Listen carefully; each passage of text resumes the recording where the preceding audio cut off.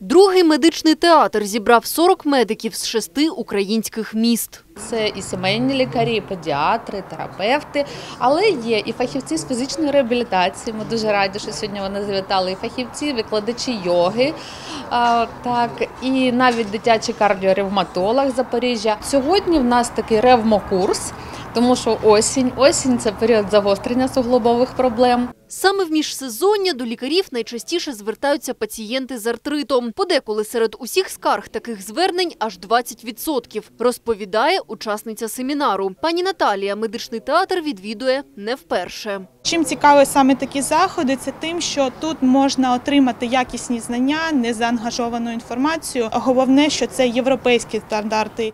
Особливість тренінгу – практичні заняття, зокрема вирішення ситуаційних задач. Ми говоримо, є пацієнт, такий вік, такий діагноз. Як би ви поступили? спробуємо на манекени, звісно, на не на людині, надати максимально повну допомогу при анафілактичному шоці. Я розкажу, яке харчування, який режим дієти слід дотримуватись людям, у яких є проблеми з суглобами, для того, щоб швидше одужати. Я буду докладывать о различных двигательных техниках, которые используются в мировой реабилитации для купирования болевого синдрома.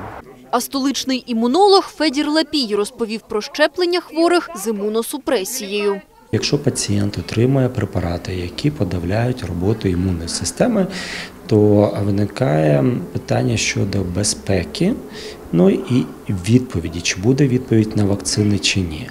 Просто під час тренінгу учасникам зробили щеплення від грипу. Імунолог каже, цьогоріч Україна отримала 500 тисяч доз такої вакцини. Основні постачальники – Франція та Південна Корея.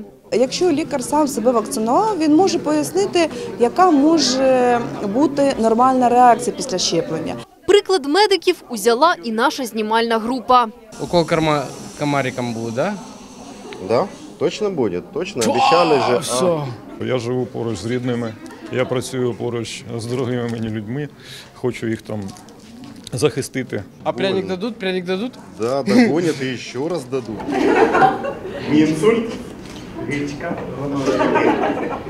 Програму наступного медичного театру організатори складають за побажаннями учасників. Із темою на майбутнє вже визначилися. Вона присвячена малій хірургії. Будемо лікарів первинної ланки навчати шити малі рани, проводити правильно щеплення проти правця, проти сказу.